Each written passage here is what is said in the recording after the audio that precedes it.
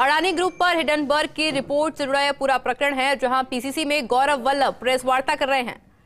सरकार इसकी छानबीन क्यों नहीं कराती है?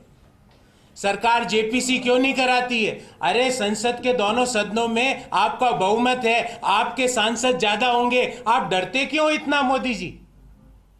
और आपके डर को मिटाने के लिए हमने भारत जोड़ो यात्रा करी, डरो मत। सत्यता के साथ खड़े रहो। आप जेपीसी से क्यों भाग रहे हो जब हिंडनबर्ग रिपोर्ट कह रही है कि टैक्स हेवन कंट्री से अडानी ग्रुप को पैसा मिला, उस पैसे का असली मालिक कौन है? विदेशी सेल कंपनियों से भारत आने वाले काले धन का असली मालिक कौन है?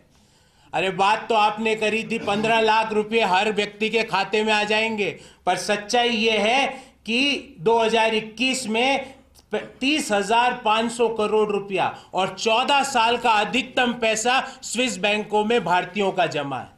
हमको कहा गया स्विस बैंकों से पैसा आएगा, हर व्यक्ति के खाते में पंद्रह लाख जाएगा। और सच्चाई यह है कि स्विस बैंकों में जमा अपने चौदह वर्ष के अधिकतम मूल्य पर है। तो जेपीसी से मोदी जी, डरो मत। क्यों क्यों डर रहे हो और किसे बचाना चाहते हो?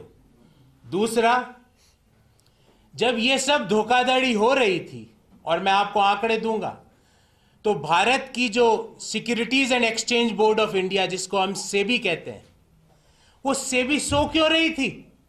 किसके दबाव में सो रही थी? मैं आपको कुछ डाटा देता हूँ।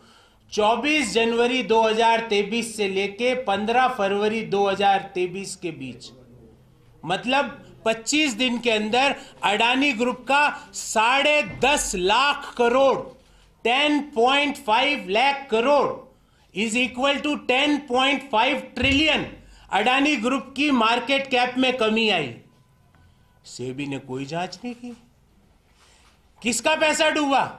उन छोटे छोटे निवेशकों का पैसा डूबा जिन्होंने बड़े हुए भाव में अडानी कंपनी के ग्रुप के शेयर खरीद लिए। उसके भाव आधे हो गए। सेबी खामोश बैठी हुई है।